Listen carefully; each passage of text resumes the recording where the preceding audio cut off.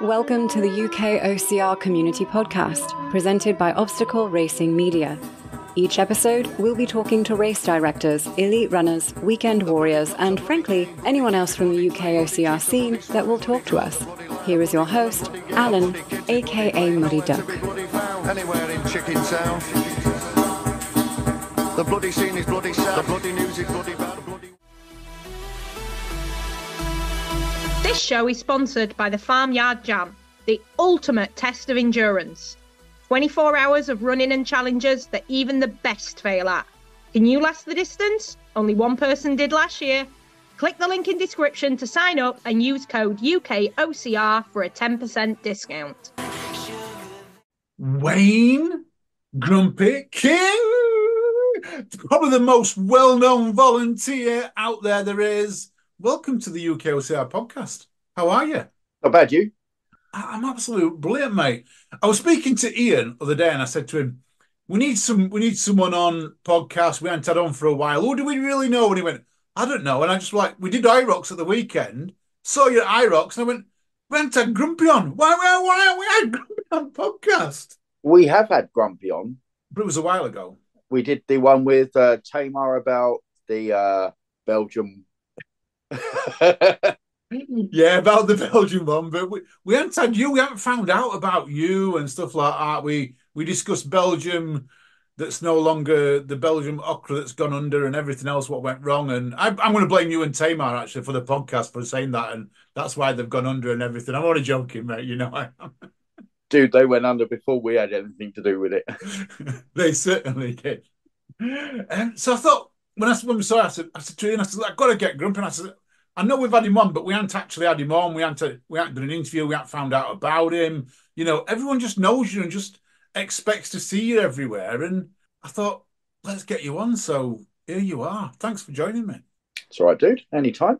Um, I'm going to jump straight in because I want to know you've been around probably as long as I have in the OCR scene. When when did you start on the OCR scene?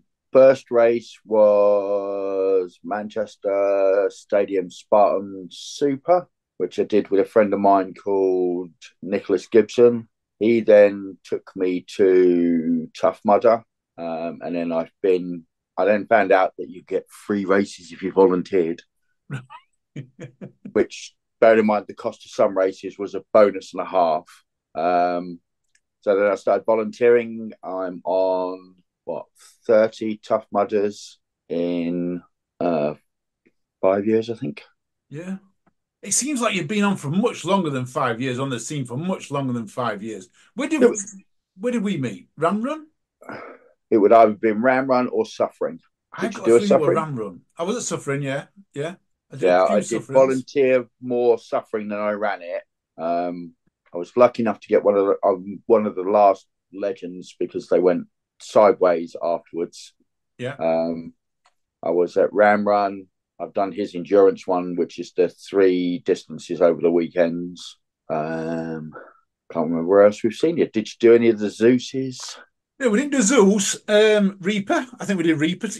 Reaper. Reaper. Spent some time at Reaper. yeah volunteered Um, reaper and then run that as well um one of the only idiots i know of that went to uh, windsor spartan and then drove all the way up to do the last ever reaper night race then drove back that, the next yes. day to do the uh, rest of the trifecta for spartan I I remember that. That was the same weekend as a nuclear race, if I remember rightly, because I did the nuclear blast and blackout on the Saturday. Or was it blast and blackout? Yes, the blast and blackout. That's the two-hour race. yeah I did them on the Saturday, and then went down to Spartan on the Sunday, and saw you um, at Spartan. But you travelled up in the meantime to come back to Reaper. Um, you must put some miles on your car, uh, i've had two since i've started this right? Um, the car I've had now, actually, no, the car I've had now, I've had for five years. So that one's done 120 odd thousand. Um, it was on 30 when I first got it. And so, yeah, I do slightly more. I hope the insurance company's not listening, but I do slightly more than the 10,000 I tell them. You know, I'm going to tell you a story about insurance. I don't know if my readers know this, but my friend um, at work, he's got a new car. He just bought a, a, a newish car, and he said to me, "How many miles do you put down a year?" And I put, "Well, I put five thousand down as commuting because that's all I put down, commuting five thousand." And I, you know, I, I walk to work half the time, so it's probably about right commuting. And he said, right, okay, so put it in, and he, his insurance came out at like nine hundred pound, and they were like, oh, 900 quid, that's quite a lot. That like, so he thought, well, I'll just see how much it's for ten thousand miles. And he put it for ten thousand miles, and it brought it down by twenty quid. So he put fifteen thousand in it, and he brought it down by hundred quid. He's ended up putting nearly thirty-five thousand miles in it, and it's like I think he's paying six hundred quid now. Three. So I always thought it was the opposite way around but it's 300 quid cheaper for more miles. I don't get that. Oh, I'll have to have a look at that because I only ever tell them I do 10,000 social, domestic, and, play, and commute. Yeah. So my car's covered what, for whatever reason I drive it for. Um, yeah. And it's, I pay what, well, then again, I've got a little car, so I pay about 350 odd quid at the moment. Yeah. I think, well, I, I drive a four before and mine's four and a half hundred, I think, um, for my BMW four before to give it that's hey, did that sound a little bit posh? That was like I've got a BMW. BMW. Has yours got the funny little things on the under the steering wheel? You know that you're supposed to flick to go left and right. it does. I've never used but. You've never BMW. It. BMW drivers don't use. That's the reason why I got one. It's got that yeah, funny stick that you don't have to use. Yeah, everything your job's useless. Just remember, there's some guy at BMW that puts indicators on his on the cars. um, I've got to test my BMW on um, off road, so that's that's overload run this year because it's not been off road yet. So um, that'll be a proper test for it. Oh, that's it. Time to question you. What's with the change of date for overload? Um, well, we we just gone. August was getting a little bit. I don't know. August was becoming so difficult with the land and we we had an option to fetch it forward to May, um, which gave us a, a, a, slightly better window.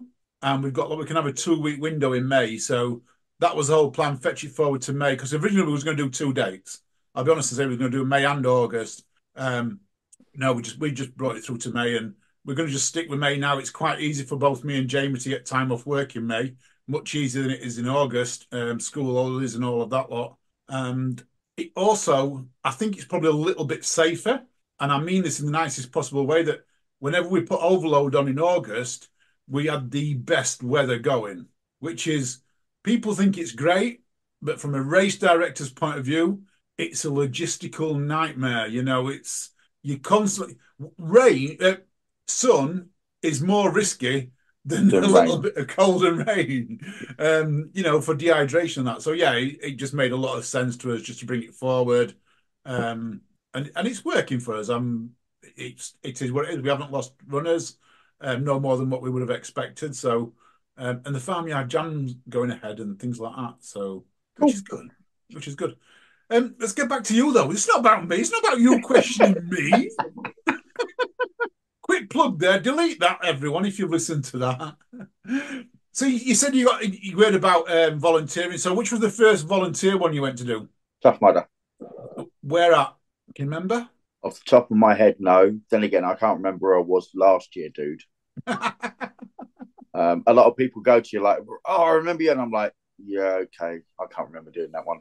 No, no. Yeah, you, um, you quickly but... became a, a, face, though, didn't you? Now, uh, I mean, I I remember seeing so many obstacles, and um, I'm not. Guess... I'm going to come to you in a minute and ask you why they're called grumpy because I've never seen you really with a grumpy face on. So I'm going to come back to that in a second. But I remember I got was it Airfield Anarchy I went to, or was it Rough Rough Runner? In it might have been Rough Runner, the one that's um just near Newark and I came through some woods, and you was an obstacle. and I wasn't expecting an obstacle. Never mind your smiley face there. And it was like, and I was racing. I was like, I think I was. It was one of them races I'd actually gone to race.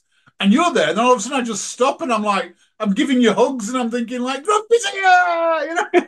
yeah, I get that from quite a few people. Uh, like some of the solos, if I'm not at a race, want to know why it's like, well, I can't guarantee I'll be everywhere because you get a clash and you have to work out which one you're going to have more fun at. Um, you try and go to the same one. So this year, I'm going to miss out uh, Nuclear Rush, which will be the first time in 18, 19, 20, I think six years that I've missed Wow. because it's the same weekend as the first uh, Spartan Trifecta Right. weekend. Um, and then other things like Wolf moved from the first weekend of the of their month to like the last or the middle, which plays havoc when you've got like that weekend. I know those races are on. I can do this. That weekend is other races, and then they, everyone moves around, and you're like, "Hang on a minute, this is going to get confusing." And so I'll miss out on some because I can't handle. I can't split myself into two, unfortunately. No. Um, but yeah, it's I don't really know, but yeah, it helps that I'm loud. Like you'll usually hear me before you see me. yeah.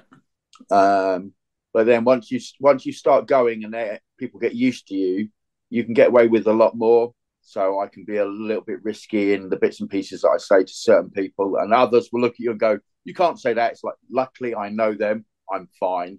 But others will be like, so uh, I remember doing a tough mudder where I bopped a woman's nose. So I literally just pointed to her chest. She looked down and bopped her nose, and she had a ballistic fit. Oh. Literally, like it's like I had a member of staff come up and say, "Did you?" And I'm like, "Yes, I know. I've already apologized countless times." It's like I'm staying away from her, but yeah, it's it's just chalk and cheese, really. Yeah. Yeah. What? What? What? Who gave you the nickname Grumpy though? Grumpy came about when I worked in hospitality. Right. Um, I did that for 20 plus years. And at two o'clock in the morning, my staff would be like, Can we go home? And I'll be like, No, we've still got stuff to do. And if you hadn't faffed around, we'd have been done by now. It's like, God, I hate Grumpy Wayne. I much prefer Party Wayne. It's like Party Wayne's not coming out until Grumpy Wayne is sorted. and so then they gave me, they got me a big mug with Grumpy on it. I've got a Grumpy uh, stuffed toy. And after that, it stuck. So when I started racing and they said, What nickname do you want on the back of your t shirt? That's what came up. So that's what stuck. And the thing is, everyone goes, Why do they call you Grumpy? And I'm like, Well, that's the oxymoron Yeah. It because I'm oxymoron. everything but I am everything but grumpy when I'm bowling. Unless someone's like a bit outrageous in their behaviour, I am probably one of the funniest people out on the course, trying to have a laugh and a giggle and everything. But if you're if you've got a runner that's pushing his luck, he'll find out that I can be grumpy. Yeah, yeah. And, and now you've moved into a bit of Hyrox volunteering and and that. You know, are you away every fifty-two weeks a year? Are you actually volunteering fifty-two weeks a year? No, um, I've got nothing in February at the moment. First thing I think I've got in March. Actually, I've got two things in March. I've got the uh, event before the awards dinner, Yeah, the three k. and I think I'm going to Tartan Warrior as well. I've just got to work out logistics for that because it's in the middle of nowhere and there's no hotels or B and B's nearby. You can, I'm sure that Gavin will just let you kip in, put an hammock up in between the rig in the um, in the barn, and away you go.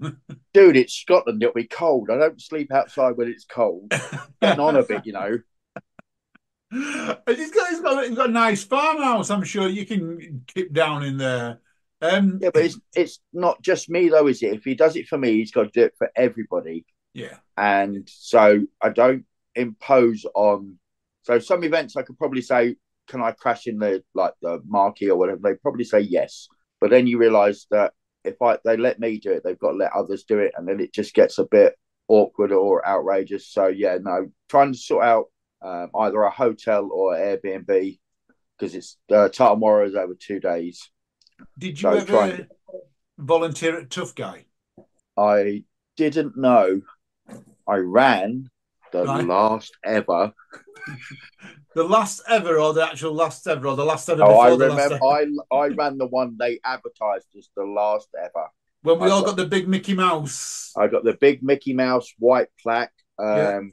When they when they overheard some of annoyed, he dug out some of the old style uh, brass ones and said, "Well, you can have one of those." Yeah, Um, and then what was it next year? All of a sudden, he's doing another one. It's like, hang on a minute, you can't and everyone went on about. Well, he didn't say it's the last ever, and a million and one people all posted up the adverts going last ever. Yeah. So yeah. Um, so no, I volunteer tough guy, but I have run it. I think I've run it twice. Okay, that's cool. Was it, was it when out of all the let's go let's talk about the volunteering side. So all the volunteering, which, which one um has been your is the most enjoyable experience? So start to finish, no matter what, you know, just what was what's the which one do you like or which one would you go back to year after year if they'd ever did it? Uh, I can't because it'll leave a bad taste in people's mouths. But suffering, Right. I love yeah. the suffering because you could beast the runners before they did your obstacle, and so you could make them do well. If it was cold, you make them do something so you could check on the hypothermia. So head, shoulders, knees, and toes, or sing a song. Yeah. Um, yeah, so suffering would be first.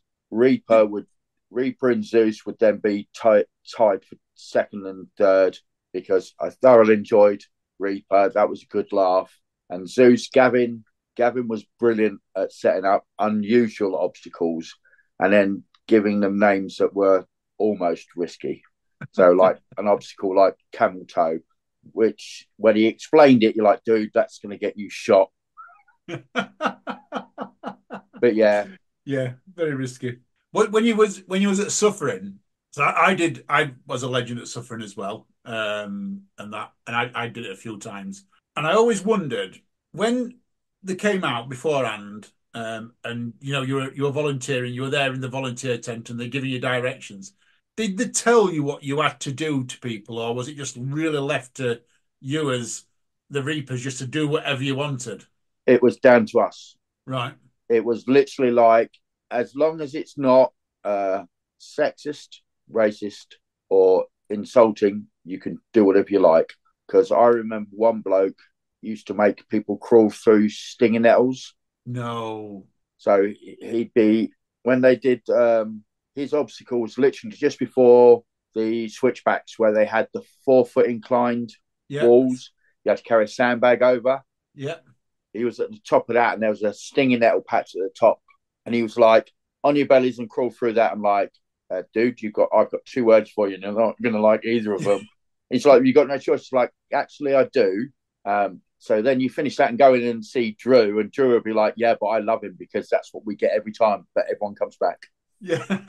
So it was you could do whatever you like. So I had people doing uh, duck walks through water to go under an equine jump. Um, Yeah. I know some of the others after water obstacles had them doing either head, shoulders, knees, and toes to see how they were doing hypothermic wise. Um, we've had them doing a conga, all sorts of things. Literally, we could get almost get away with murder. I, I, I loved it, man. I, I've got to admit, I, I had a love hate relationship with suffering. Um, the first time I went, I was I was a fairly decent runner. You know, I was up there at most races, and I think I was. I'm going to say I was. I was in the top ten at this particular race, and I was. I'd started off quite slow, and there was a, there was a section before you dropped into that little quarry where there's a water, and they built a cargo net that you went over the cargo net and and that. So about about two mile in before you got to the switchbacks, and you ran along the side of this hedge, and there was a reaper there, and I think it was a. I can't remember what obstacle it was, so I couldn't tell you what obstacle was there. But as you got to it, um, I caught the guys up in front, and he shouted to the guys in front, I want to say five burpees. And then I rocked up and I got 10 burpees. Yeah. And then five guys behind me got five burpees again. And I was like, I was fuming. Because I'm like, I'm racing this. You know what I mean? You just give them a head start. And then behind me, you give them a chance to catch up. And I'm like, what, what's. And I didn't get it. I, I got it when I went back for the second one and became a legend that it's not a race, it's a it's a challenge. It's a challenge. It is a, just Yeah. basically a challenge. And the bit that cracks me up is everyone used to moan about their distances, but if you actually read their bits, it always says distance no less than. Yeah. So you were never short your distance, you were always over. So the last legend status I earned was the 10 miles was 17, Mhm. the 10K was 15, and the 5K was nine Yeah. and everyone's like, "Oh, but but it's like it says on it, distance no less than." That that's the that was the last one I think I ran, um, and I went across the line with Sam. Oh, I can't remember his surname now. Sam used to be a really good runner, and he'd won Reaper several times. He won, sorry, he won Suffering several times, and he got injured on the Saturday. So we'd we'd ran the five k, and then on the ten k got injured. So I ran with him for the last sort of half of the ten k, um, and I, I forsake my position, and then on the Sunday I got there and he was determined he was going to run Sunday even though he couldn't run. And we just went round together and we did a lot of plodding and a lot of shouting and screaming every time a Reaper made him bend over because he just couldn't bend. His leg was just straight, but he wasn't going to give up. And um, yeah, absolutely amazing um, effort by him. And yeah, there's a great picture out there of us in black and white of us crossing the finish line. And I, we weren't the last, but we we definitely weren't in the top top 200 of that race. um, but yeah, I absolutely absolutely love that. When you all the, the races you've been to, which one gives you the best swag as a volunteer? It's going to have to be nuclear because nuclear will give you a race and a dry robe or a KitBrix and yeah. or 75 quid to spend in their shop, which bearing in mind that the race, what nuclear races what anything up to hundred quid. Yeah, yeah. The, I think Rush's hundred quid, isn't it? A dry robe is a, a bog standard dry robe is 130 quid. Yeah. So they give out the best. Um, going on to the other side, so I've done an Athex competition where they gave out um, Adidas trainers. Oh wow! So I've got a pair of trainers from doing that. Um, they're trying to sort out what they can, what they're offering this year, but at the moment they haven't got a sponsor, so they're a bit. Um, but most places you get a race, something to eat, something to drink, um, yeah. and that's the bit that cracks me up when they sell without volunteers. You haven't got a race, but then all you get is literally. Some people will complain because all you get is the race code, and it's like, well, you chose to volunteer, so I get more from helping others and being out on course than I than I do with like getting coach and everything else like that. Yeah, definitely, definitely. And Hyrox, I think they they give you a good deal, don't they? Hyrox give you trainers and shirts and things like that. If you're a head judge, yeah, you get a jacket, t-shirt, leggings, trainers.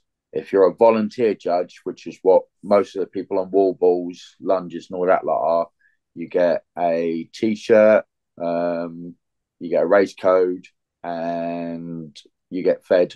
Cool.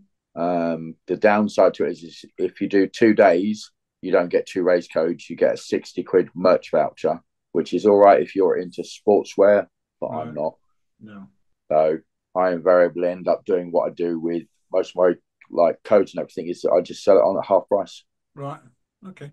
So you're the man to come to if we ever want race codes. Is come come to Grumpy and we get half price codes. Uh, if you want Hyrox, Athex, and that sort of thing, yeah, you'll get half price codes from you'll basically I sell my code for half the ticket price. Right. Um, races, I invariably end up using most of mine because obviously if you're so Spartan, if you race, you get a code. But then if you want trifecta, you've got to run as well, which means that you have to get a 60% code rather than a full day code. With it's great using that at Spartan and Nuclear and some of the really big races, but some of the smaller races, and we've seen this happen over the years. You know, you can potentially volunteer, take a code, and the following year the race doesn't happen; it goes under uh, for whatever reason, and and that you, you've lost your code and you've lost your money and that. Do you would you prefer to see racers actually offer a same day race? So uh, you know, a so we'll just take the, the race at Sharpie Main, for instance. So there, they you you can run the volunteer and do the volunteer shift, and then there's a special wave where the volunteers run afterwards. Would you like to see that small events, or are you happy to to take the gamble? It's a risk you take, even with the big one. So if Spartan hadn't bought out Tough Mudder, yeah, all your spot, all your Tough Mudder codes would have been useless because without them being there. So you take that risk anyway. But yeah, uh, Rocket Race, Reaper, Zeus, all used to do a marshal wave. So once the race was finished, you were given the opportunity to go around the course, but you understood that there was no marshals out on the course. Yeah. So you were told to like run in groups or try and stay together as much as possible. Yeah. And I like that. I, I've got something. I've done one or two marshal, and I I prefer that to you know to marshal and then r- run your run a race afterwards, um, same day. Not so much because I'm trying to lose my cold, but because I think it's if you don't, you're then going back the following year and you got all the petrol costs and everything else, and it just seems a little bit. Let's get it all done in one day. I like it. The downside to not running the same day means that if you go back the next year, you can't volunteer because Yes. you're running. Whereas if you volunteer and then run next year, if you want to do it again, uh, I know a certain race where I'm volunteering and then running afterwards so I can finish off getting my overload, um, which means that you're there to, to to help keep the race going rather than you go back next year and you're volunteer you're running rather than volunteering. Yeah, yeah, I get that, and that's the way you know. That's what I'm saying. It's the way it could be. Out, out of all the races you've done, who gives you the best food or the best pack up? Uh, let's see. Hyrox give you uh, Fuel Hub, which is protein rich food. Um, I'd like to say nuts, but they dropped back on their package. So you used to be able to get breakfast with nuts and then a lunch, and now they don't do anything. So Oh, wow. um, Spartan have changed from the Greggs Baguette to uh, Urban Eat sandwiches. Same with Tough Mudder. Um, so yeah, it depends what you're looking for when you get there. So uh, Nuclear give you half a pizza. Total Warrior give you a voucher that you can use in the village to get something to eat afterwards. Um, so unfortunately, it all depends on what you're expecting. Me, anything, I don't mind. A ham baguette and packet crisps and chocolate bar will do me. it's great that some of these races. I mean, I- to Hyrox. I mean, they're sponsored by Fuel Fuel Hub, so you know it's great that they're giving the food away. I like the thing that you said there about Total Warrior being able to like you can go and choose because they have five or six food stands there. You know, depending on what you fancy, you can go to them and use a voucher there. That, I like that idea. Well, that's what they did when I was last there. Um, I wasn't there last year because it clashed with something else. Um, but yeah, but then Total Warrior used to do like three events, and they're now only doing one. So they used to be, was it Total Warrior, Shap, Leeds, and there was somewhere else, I can't for the life of me remember where. The, the other one never went ahead, but there was going to be another one, but it never actually uh, materialized. And I think there was going to go down south somewhere, weren't there? So, but it never. What the famous South Southern Grounds Pippingfords. Yeah, I, I don't know where it was down south. It might have been Pippingford, but it never, it never materialized. And then the land at Shap sort of became non-viable, non-viable in terms of they couldn't get hold of the land at Shap, so they just now stick to Bramham Park, which is It's a nice ground and everything, yeah. but you don't get the hills that you got when you're at Shap. You know, I, there is only there's only one OCR I think in the Lake District now, which is Race the Tide, and that's right up at Muncaster, and that's a that's a fair distance to go up in the Lake District. It's a pity, isn't it? Because they've got such It Beautiful. beautiful country. yeah, yeah. I mean, I, I did Race the Tide last year, which I thought was really really good fun, really a good fun race, and and quite enjoyable, and lots of um, fancy dress rocked up, which was was really really good, and and that it was one of them good fun races. I'm not convinced that it's going to attract people from outside the Lake District, um, you know, because it's I've never heard of it, dude. no, it's good. It's good fun. I went up with um, Stephen, and he's going to kill me if I forget his name now. Um, the nin- ninja guy um, does the Voom Nutrition. Steve, oh, I'm going to get my phone. He's going to shout at me now if I forget his name. Fell. Stephen Fell. How could I get that? We're up in the Fells, Stephen Fell. How could I forget that? Um, yeah, I went up with Stephen Fell. He invited me up, and we had a good time up there. Um, did a bit of running and a bit of walking and that, and um, it was good fun. But yeah, it's a long way. It's a very long way. Yeah, but then most of them are a, long, are a long way for. Well, you look at the ones in Scotland. If they want to come down south, there's nothing between Scotland really and well, it's going to be Manchester, isn't it? Yeah, Scotland, Manchester. We've got total. Yeah, there's Born Total Survivor. Bramham, that's Leeds. Yeah, Born Survivor. Born Survivor is there's two venues, isn't there? There's one in Cheshire and one in Isn't one north of Manchester. One's south, one's north of Manchester, isn't it? Yeah, but it's still Manchester, really, isn't it? There's nothing Yeah. really. So you're looking at like Mad uh, March Mare. We've got Mad March Mare in um, Northumberland, Hexham. See, where are all these? I've never heard of half these. so you don't go, you don't know some of the ones that I go to. What's the other ones? The um, Kel- Celtic Warrior. You must have heard of Celtic Warrior. nope, I've heard of Gelt. Oh, sorry, Gelt Warrior. Yeah, Gelt. Gelt. Sorry, Gelt Warrior. Yeah. Um, what about Adrenaline Rush? That was based on the. uh Is it the Krypton Factor?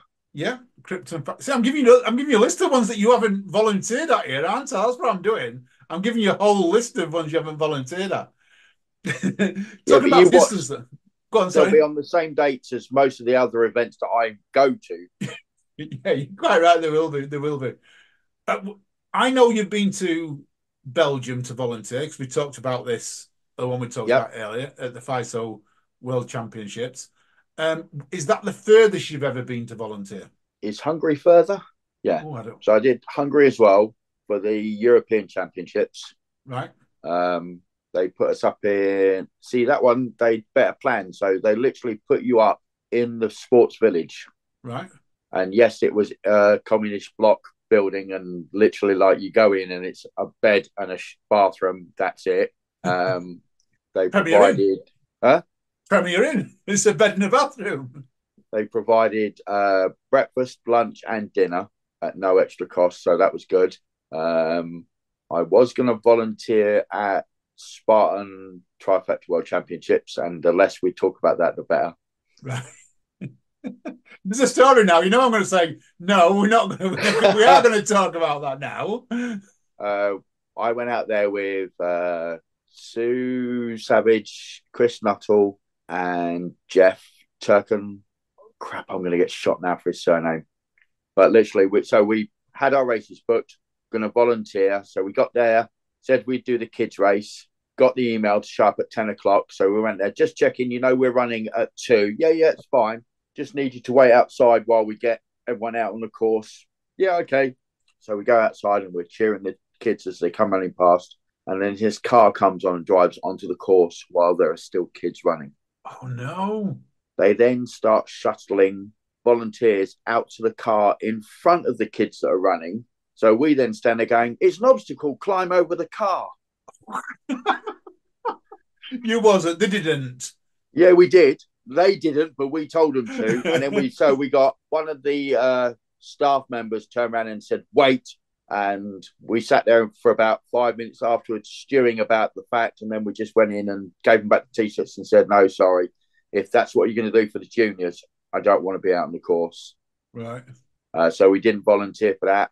Um, when I went back the a year after, they'd moved the volunteer tent, so it was nowhere near the course. But yeah, it blew my mind that they would allow a car onto the course. While I could understand if adults were running, because but kids won't think of it. They'll literally just charge down, and if the car comes, they'll be like, "Oh." But yeah, so yeah, that blew me.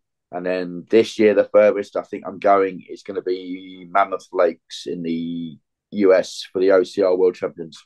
oh wow! You're going. You're going the big distance. Well, I'm not doing Spartan trifecta this year because I've got my 10 times. So the next time it's going to be worth me doing is when I do 25 times. I don't Right. need to go every year to get another t shirt that says trifecta tribe or whatever. So I'll go to the US this year. And then next year, I'll probably think about doing world's toughest. Oh, the the, the tough mudder, the world's tough Yep. mudder. That's excellent. Yeah. So you, when you go over to the World Championships, then over in Mammoth, that's that's to volunteer or to or to run or to do both. Uh, both. So Right. I'll volunteer as much as I can the Wednesday, Thursday, Friday, and Saturday to Yeah. then run either the team race or the charity race on Sunday. Okay, that sounds good. That, that's that sounds pretty good. Like. It'll be an experience. Yeah, yeah. So now, now you're also um, you're with British Obstacle Sports. You've you've done their, you know, their test to become a. My my words are losing me today. My words are losing me. I'm a level three national te- technical official, in, That's it. international technical official. Um, but that's as high as I'm going to want to go because um, if I go higher, they won't look at me to do obstacle volunteering. It'll be it'll be more of looking after the referees, uh, making sure the volunteers are okay, checking that sort of stuff. And I don't, I miss being at an obstacle. I miss, I miss Yeah. the banter you can have with people because yes, I'm a judge or I'm a technical official, but I can still have a laugh and a giggle. Whereas if I go up to uh, uh, chief technical official or acting chief technical official, I've then got to look at it from well, actually, no, that's an infringement of the rules, and Yeah. that can't happen, and that'll take me away from what I actually enjoy doing. Would that does that include paid roles though? So if you're going to level four and you're going everywhere, No. does that not become a paid role at that point? No, it's still all voluntary. Right. Okay. That's Uh, that's good to hear. That's good to hear. If you do, you can get paid for it. So certain sports will pay you. So if I go back to High Rocks as a, an acting head judge rather than a volunteer judge, I'll get paid. Right. and expense rather than a salary because obviously Hyrox is 15 hours Yeah. and you're not allowed to work 15 hours. I don't care. It's just yeah, I get that too. I get that too. yeah. So, um, but yeah, uh, but they, I know some of the TOs are saying about the fact that rather than get race codes, they'd much rather be paid because they can't use the race code because if they're teeing out, TOing, how are they going to be able to race? I get that. I get that. As as a as a volunteer, what's the best obstacle you've ever volunteered on? 12 foot suffering wall. because it was that hard for him to get over, and you were laughing. there is a video of um, me and one other guy at the 12 foot wall, and we're literally helping people over. And this woman falls back, and I catch her literally hands above my head, catch her, and then she gets up and over the wall and finishes. And the only thing she remembers about the fact is she managed to complete the wall because the volunteer at the bottom caught her. Oh wow, wow. So um, that's my that's my favourite. It it was the one they brought to uh, Mud Seven.